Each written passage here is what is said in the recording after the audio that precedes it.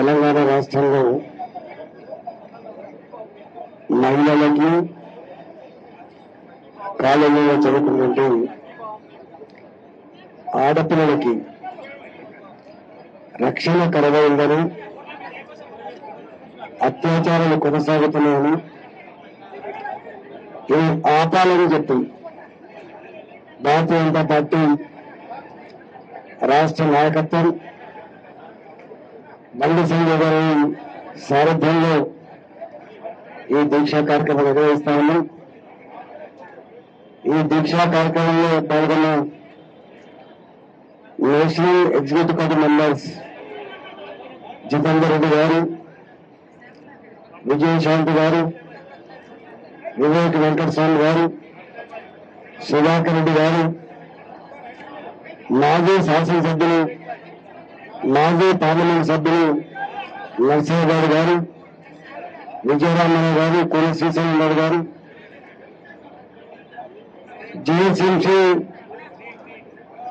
గౌరవ కౌన్సిలర్లు ఫోన్లో ఉన్నటువంటి శంకరన్న గారు వేదిక మీద ఉన్న వివిధ హోదాల నాయకులకు మహిళలకు ప్రెస్ మిత్రులకు అందరికీ నమస్కారం. ఇవాళ పింక్ లాంటి ఒక గిరిజన డాక్టర్ తెలంగాణ రాష్ట్రంలో మహిళలందరూ కూడా ఒక గిరిజన డాక్టర్ పైన పీజీ చదువుకున్న డాక్టర్ పైన ఇంత దుర్మార్గం జరిగితే ప్రభుత్వ పరంగా ఏం జరిగిందో ఇప్పటి వరకు చెప్పే ప్రయత్నం చేయకపోగా ఇవాళ ముసలి కన్నీళ్ళు కావచ్చు ఆ కుటుంబానికి ఏదో ఆర్థిక సాయం చేస్తా ఆ కుటుంబాన్ని ఆదుకుంటామనేటువంటి మాట విషయంలో ఇది మొత్తం గిరిజన సమాజాన్ని మాత్రమే కాకుండా మహిళలకు కూడా ఇది తీవ్ర అవమానంగా భావిస్తామని ప్రీతి రిజల్ట్ కంటే ముందు అనేక ప్రాంతాలలో ఇలాంటి అత్యాచారాలు కొనసాగుతున్నప్పటికీ కేసీఆర్ మాత్రం ప్రగతి భవన్లో కూర్చొని నిన్నకు మీరు ఎత్తినట్టుగా వివరించడం తప్ప కనీసం పాశ్చాత్యాన్ని ప్రకటించకుండా నిలవరిస్తానటువంటి మాటలు కూడా చెప్పకుండా ఇవాళ మహిళా జాతిని అవమానపరుస్తాను ఇంతమంది మాట్లాడిన వక్తలు ఇవాళ తెలంగాణ రాష్ట్రంలో ఒకటి కాదు రెండు కాదు. పదుల సంఖ్యలో ఇప్పటికే హత్యలు జరుగుతున్నాయి మానభంగాలు జరుగుతున్నాయి. కేసీఆర్ మాత్రం దేశంలోనే మహిళలకు రక్షణ కల్పిస్తున్న రాష్ట్రం తెలంగాణ అని హైదరాబాద్ నగరంలో లక్షల కెమెరాలతో మహిళల్ని ప్రజల్ని కంటికి రెప్పలాగా కాపాడుకుంటున్న రాష్ట్రం అని చెప్పేటువంటి కేసీఆర్ గారు ఇవాళ ఈ రాష్ట్రంలో పట్టపగలే అనేక హత్యలు జరుగుతున్నా కూడా ఏ హైదరాబాద్ నగరం విశ్వనగరం అని చెప్పుకుంటామో అలాంటి విశ్వనగరంలో ఇవాళ పట్టపగలు నడి రోడ్ల మీద హత్యలు జరుగుతున్న పరిస్థితి మనం చూస్తా ఉన్నాం. నేనేమో షీటిని పెట్టినా అని చెప్తారు. కంటికి కనపడని పోలీస్. ఇవాళ హైదరాబాద్లో పనిచేస్తామని చెప్తున్నారు. షీటిని దేవుడరుగు పోలీసులు దేవుడరుగు ఇవాళ ప్రభుత్వమే ఇవన్నీ జరుగుతున్నప్పటికి కూడా బాధ్యత లేకుండా కేవలం కంటి చెప్పులుగా మాట్లాడే పద్ధతిని తీవ్రంగా ఖండిస్తా ఉన్నాం. ఇవి ఆగాలని చెప్పి భారతీయ జనతా పార్టీ పక్షాన్ని డిమాండ్ చేస్తా ఉన్నాం. గ్రామాలలో మనం చూస్తా ఉన్నాం. నిన్న వాళ్ళు మాట్లాడుతున్నారు. ఇంటర్నేషనల్ ఉమెన్స్ డే నాడు ఏదో సభలు పెట్టాలని మహిళలకి ఒక భరోసా ఇవ్వాలని చెప్పి ప్రయత్నం చేస్తాను. నేను అవుతున్న కేసీఆర్ గారిని. మహిళల పట్ల మీకు నిజంగా నిజాయితీ చిత్తశుద్ధి ఉండి ఉంటే గ్రామాలలో రెండు వందల మందికి మూడు వందల మందికి బెల్ట్ షాపులు పెట్టి మద్యాన్ని అందుబాటులో ఉంచి తాగుబోతులుగా మార్చి ఇవాళ సాయంత్రం పూట రాత్రి పూట ఇళ్ళలో ఉన్న మహిళలు దిక్కు దిక్కుమంటూ పిల్లలు వేసుకొని బతికే పరిస్థితి కారణమవరు? మీరు కాదా అని చెప్పి డిమాండ్ చేస్తా ఉన్నా.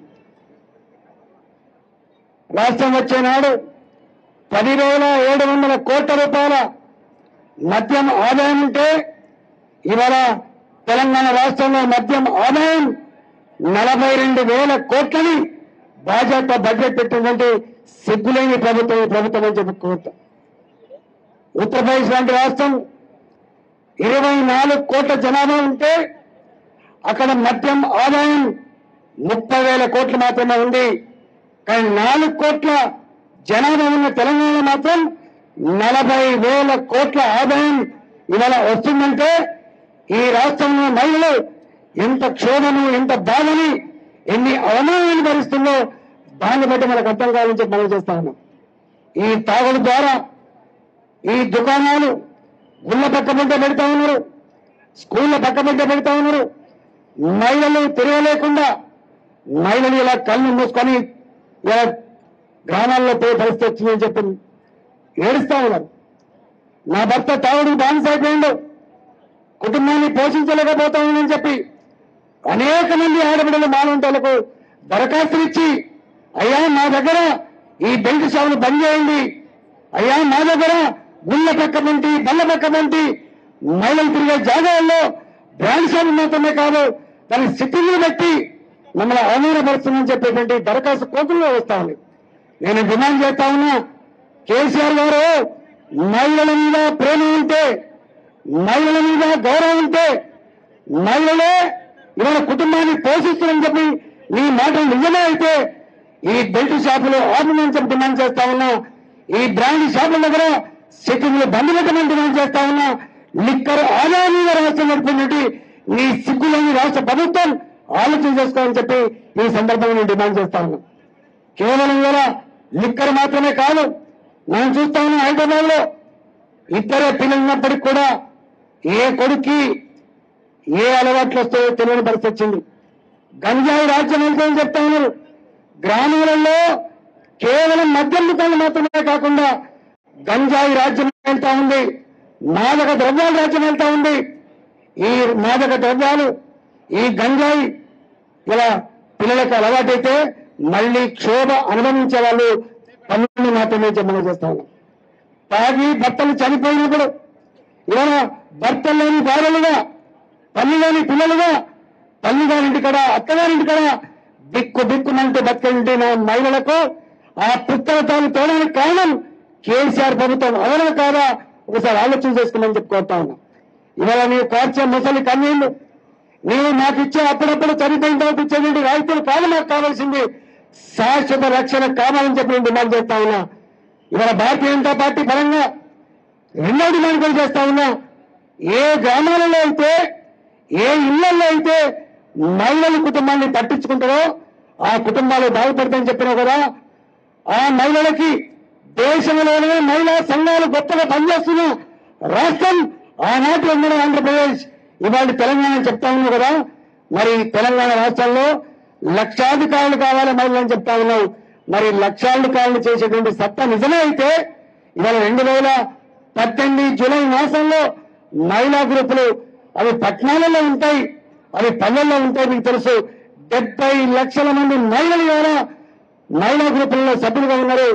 వాళ్ళకు వడ్డీ లేని రుణాల కింద కేంద్ర ప్రభుత్వం ఇచ్చేటువంటి రాయితీ మాత్రమే వస్తామని తప్ప రాష్ట్ర ప్రభుత్వం ఇచ్చే రాయితీ ఒక రూపాయి కూడా ఇవ్వకుండా ఒక రూపాయి కూడా ఇవ్వకుండా మహిళల కళ్ళల్లో మట్టి కొట్టడమే కాకుండా ఇవాళ నేను డిమాండ్ చేస్తా ఉన్నా జూన్ రెండు వేల పద్దెనిమిది నుంచి మళ్ళీ ఇవాటి వరకు వడ్డీ లేని రుణ కింద డెబ్బై లక్షల మంది మహిళలకు ఇచ్చేటువంటి వడ్డీ తెలంగాణ ప్రభుత్వ పరంగా బాకీ మన మార్చ్ రెండు వేల ఇరవై రెండు నాటికే నలభై రెండు వందల కోట్లు నాలుగు వేల వందల కోట్లు ఉన్నది.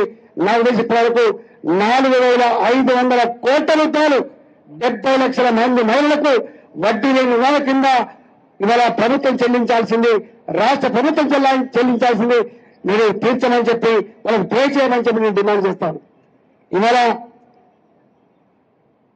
ప్రీతి ఆత్మహత్యకు సంబంధించి చాలా మందికి తెలియని విషయం మనం మాట్లాడుతున్న అసెంబ్లీలో మెడికల్ కాలేజీలో మెడికల్ కాలేజ్ చెప్తా అడుగుతా ఉన్నాడు నేను అడుగుతా ఉన్న కేసీఆర్ గారు మెడికల్ కాలేజీలలో మీ ప్రొఫెసర్ లేరు.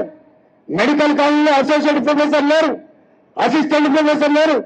కేవలం పీజీ డాక్టర్లు మాత్రమే ఇవాళ వాటికి అనుబంధం హాస్పిటల్ నడుపుతున్న సందర్భంలో ట్వంటీ ఫోర్ అవర్స్ డ్యూటీ వేస్తా ఉన్నారు. థర్టీ సిక్స్ అవర్స్ డ్యూటీ వేస్తా ఉన్నారు. ఈ ఇరవై నాలుగు గంటల డ్యూటీలో ముప్పై ఆరు గంటల డ్యూటీలో మహిళా ఆడపిల్లలు కూడా ఇవాళ మహిళలు మహిళలు కూడా ఇవాళ డ్యూటీ చేసే పరిస్థితి వచ్చింది.